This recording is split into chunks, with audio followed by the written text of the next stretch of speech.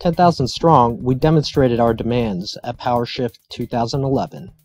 Tomorrow is not promised. You must be the leaders of today, Generation PowerShift. This August, our elected officials are home for a month long recess. This is your opportunity to ask them to follow your leadership for a 100% clean energy economy.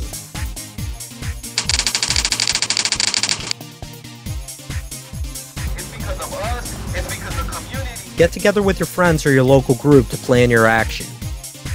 Recruit three to five other volunteers in your area and assign roles for everyone.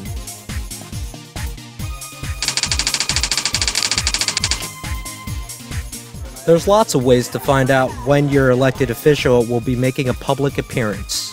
Search their website and get on their email list, or check their other websites and local newspapers.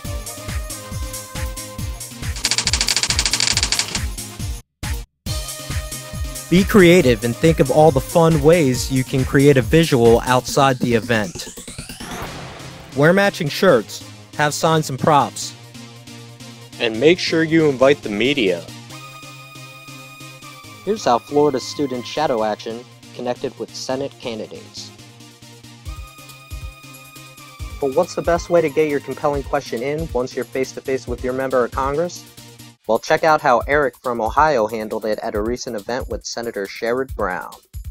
Personally disappointed when you voted to roll back the Clean Air Act.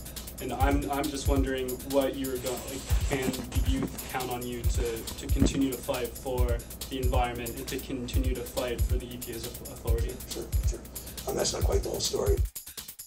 We see companies shutting down in this country and moving to a place with weaker environmental laws then companies, it gives companies one more reason to outsource jobs. And I think that's what's going to happen. I want this to be simple, but I, I don't think it is.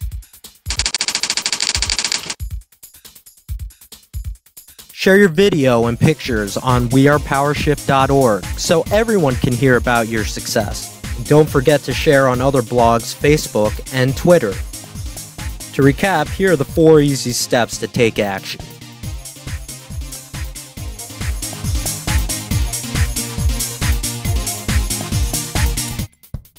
Get started today and download the toolkit at wearepowershift.org slash shadow.